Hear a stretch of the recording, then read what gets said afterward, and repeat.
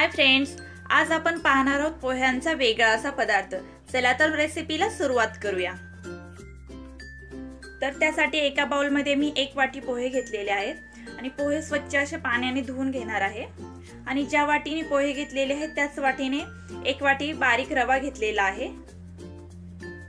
त्यानंतर अर्धा वाटी दही घेतलेला आहे. त्यानंतर हे तिन्ही इन्ग्रेडियंट व्यवस्थित असे मिक्स करून घ्यायचे आहेत. त्यानंतर यामध्ये एक वाटी पाणी ओतायचं आहे आणि हे मिश्रण जे आहे ते अर्धा तास आपल्याला भिजत ठेवायचं आहे. म्हणजे रवा आपला व्यवस्थित असा फुलला जाईल. अशा प्रकारे एक वाटी पाणी ओतून झाकण ठेवून अर्धा तास आपण हे रवा व्यवस्थित भिजून देणार आहोत. हे मिश्रण व्यवस्थित भिजून देणार आहोत. त्यानंतर एक पॅन घेतलेला आहे. पॅन व्यवस्थित गरम झाल्यानंतर त्यामध्ये थोडंसं तेल ओतून घेतलेलं आहे. तेल गरम झाल्यानंतर त्यामध्ये अर्धा चमचा मोहरी टाकून घेत आहे. मोहरी छान तडतडल्यानंतर त्यामध्ये अर्धा चमचा जिरं टाकून घ्यायचं आहे. जिरं हे व्यवस्थित फुलून द्यायचे आहे. त्यानंतर मध्यम आकाराचे दोन ते तीन बारीक चिरून घेतलेले कांदे आहेत. ते हे कांदे व्यवस्थित असे तेलात परतून घ्यायचे आहेत.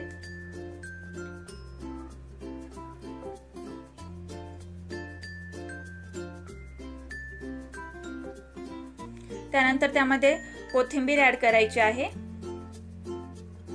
त्यानंतर बारीक चिरून घेतलेल्या दोन ते तीन हिरव्या मिरच्या त्याही व्यवस्थित फ्राय करून घ्यायच्या आहेत.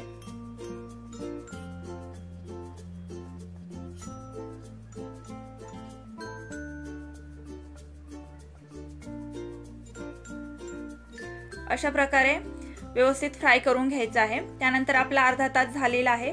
जे मिश्रण आपण भिजत ठेवलेलं आहे ते व्यवस्थित असे त्याची व्यवस्थित अशी बारीक पेस्ट करून घेतलेली आहे मी मिक्सरमध्ये.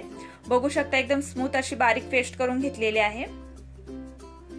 त्यानंतर आपण जो तडका तयार करून घेतलेला होता तो तडका ह्या पेस्टमध्ये आपण टाकून घेणार आहोत.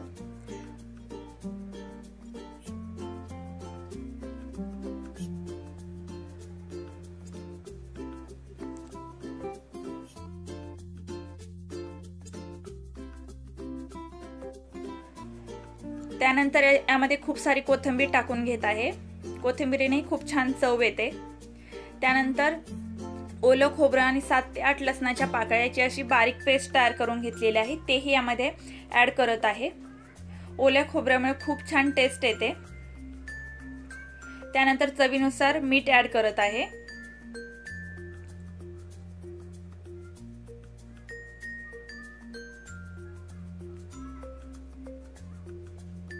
त्यानंतर हे सर्व मिश्रण एकजीव करून घ्यायचं आहे.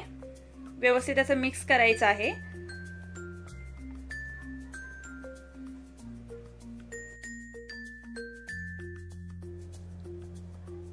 आणि आपण ज्याप्रमाणे ढोशाचं बॅटर तयार करतो उत्तप्याचं बॅटर तयार करतो तशा प्रकारे आपल्याला थोडंसं पातळ हवं आहे.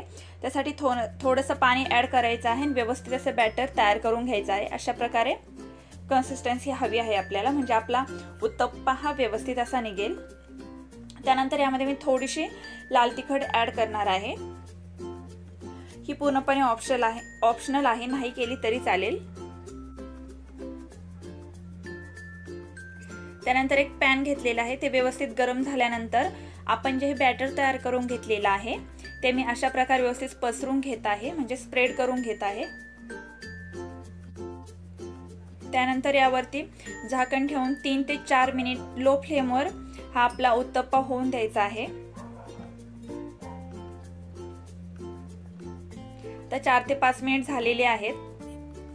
आपला उत्तप्पा व्यवस्थित असा निघलेला आहे तुम्ही बघू शकता. त्यानंतर पुन्हा झाकण ठेवून दोन ते तीन मिनिट लो फ्लेमवरच होऊन द्यायचा आहे. अशा प्रकारे आपला छान असा उत्तप्पा तयार झालेला आहे. जर तुम्हाला ही माझी रेसिपी आवडली असेल तर आपल्या शिल्पा ड्रीम्स या चॅनलला लाईक करा शेअर करा तसेच सबस्क्राईब करा. म्हणजे मी जेव्हा जेव्हा अशा नवनवीन रेसिपी तसेच केकचे व्हिडिओ अपलोड करेल त्याचे नोटिफिकेशन सगळ्यात अगोदर तुम्हाला मिळेल. परत भेटूया असेच एका नवीन रेसिपीबरोबर तोपर्यंत सुरक्षित राहा आनंदी राहा आणि सगळ्यात महत्त्वाचं म्हणजे हेल्दी राहा.